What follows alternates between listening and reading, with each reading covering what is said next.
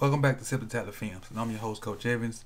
Today we're bringing you another draft prospect, Terrace Marshall Jr. from LSU. Um, there's a big four at receiver this year. Uh, Terrace Marshall is one of those big four. The other three are uh, his teammate, Ja'Marr Chase, uh, the two guys from Alabama, Jaylen Waddle, and DeVonta Smith.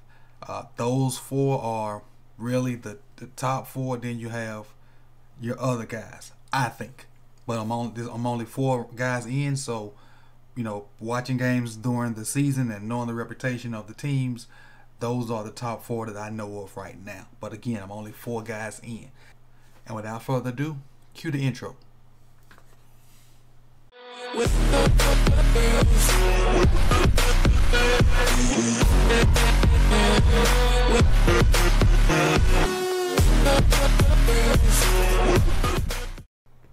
All right, let's get into the film. Um, if it's your first time here, make sure you hit the subscribe button. Uh, if you like what you see, hit the like button. And when you do that, make sure you click the bell for notifications so you can get these random dropped videos, randomly dropped videos. Um, what I failed to mention in the last video was the stats and the size of the, the prospect. So I'm going to take the time to do that first, then get into the film. Uh, his career numbers at LSU, 106 catches, 1,594 yards, 23 touchdowns, and 15 yards per catch.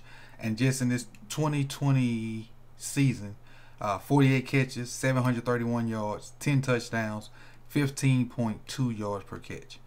But the difference is with the other guys that I've done so far, Marshall's 6'3". 6'3", 200 pounds. And I'm going to go ahead and give you my little synopsis of him compared to the other three I've done so far. Um, they're faster than him. The other guys are faster than him. The matter of fact, let me compare the Alabama two Alabama guys to the two LSU guys.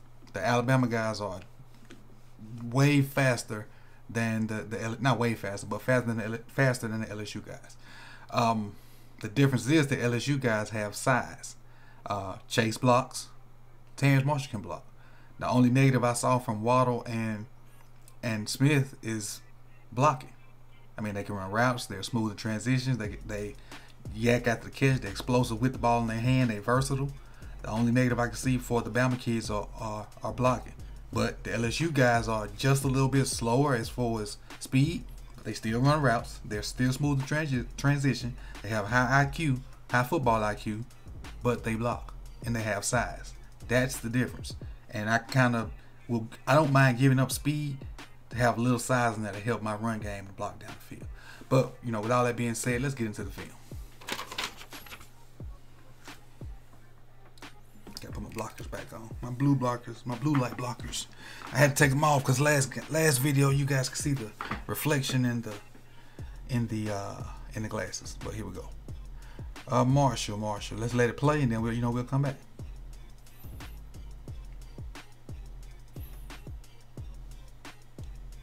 Top of your screen, just catching a, a fade right on the guy. That simple. Don't really. He's up. He's up here. Don't really. Well, oh, I can't. Don't really burn the guy. Just can see it.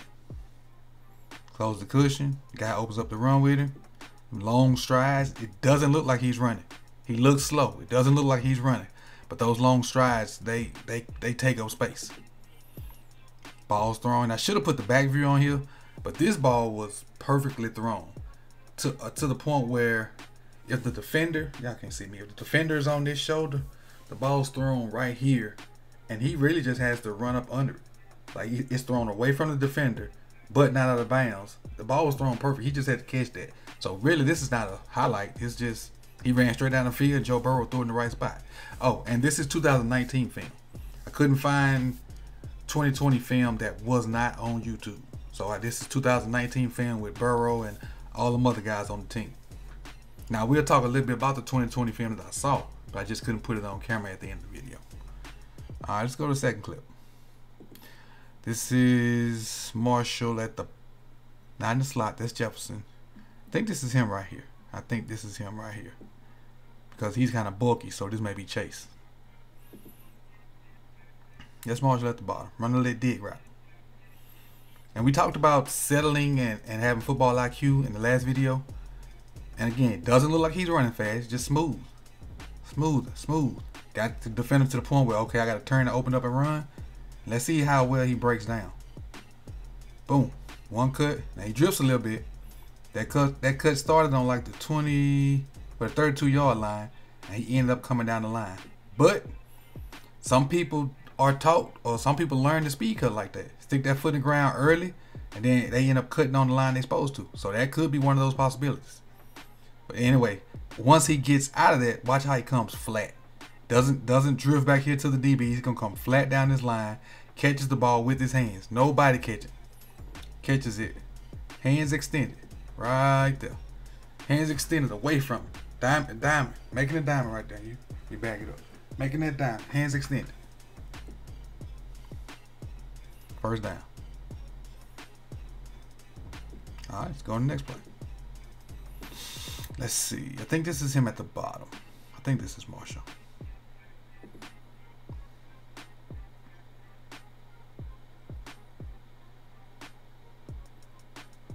All right, check. Come on, check the play.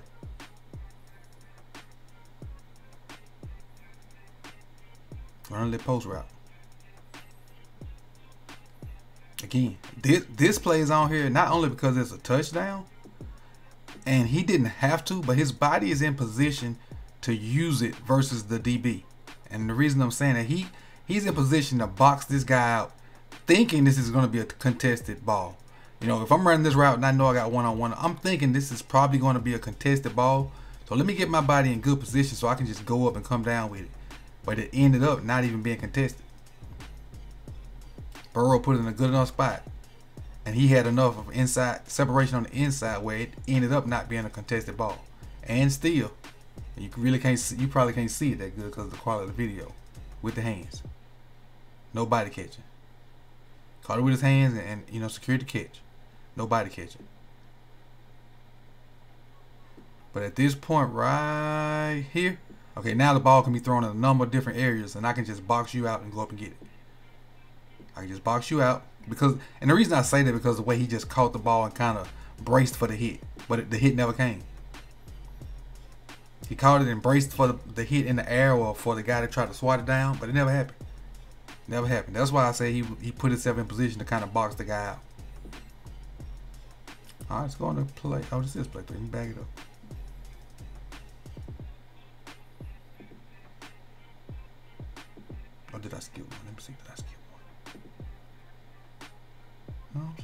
Gonna play four then.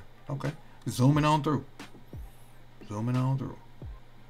Play four. Marshall is here.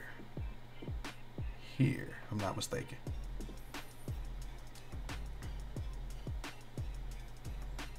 I think this was one to kind of do with the little route running. Run the curl. Look at that. You come right back down the stem.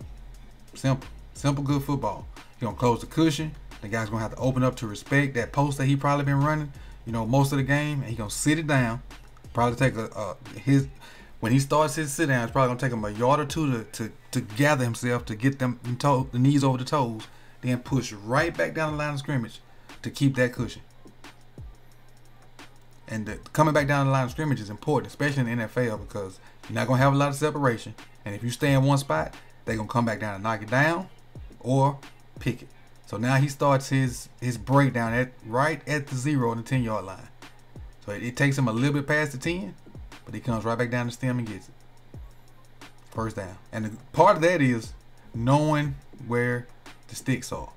If you got a curl route and you know it's almost it's third down, not third down, but it's first down. But knowing where the sticks are, you're going just enough to bring you back down the line of scrimmage. Not the line of scrimmage, the um the line of your stem. Right back down.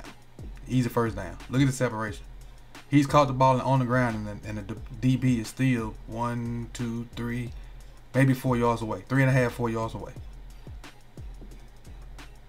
Good job. Right, play five.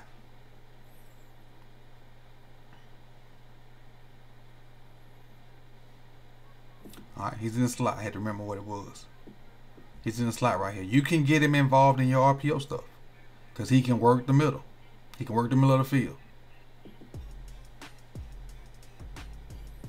But you know LSU ran a ton of RPOs. This is a straight drop back, but again, if this was some kind of run fake and then dart right there, he can work the middle of the field because he's big enough to do that. You can use him as a extended tight end because of his size. That's that's another part that makes him versatile. Now those um the the Alabama guys, you can use them too, and they can do this also. But that pounding that they may take in the NFL, you know, would kind of negate that speed over time. This dude's 6'3", they're like 5'11", 5'10", you know, under 200 pounds. I think he's sitting at like 205, 210. I, and I'll go back and check it um, when when this is over. But I think he's sitting at 205, 210, and can kind of take some pounding, you know, over the middle and get you some tough first downs. You don't want those smaller guys getting that.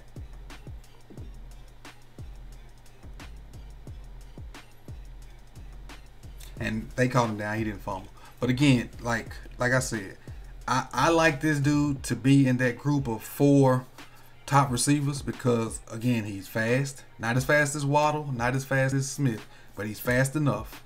He, he's 6'3", so he can high point balls. You can use on the outside or the inside. He, he like right this, this last clip where he circled, he's a slot receiver.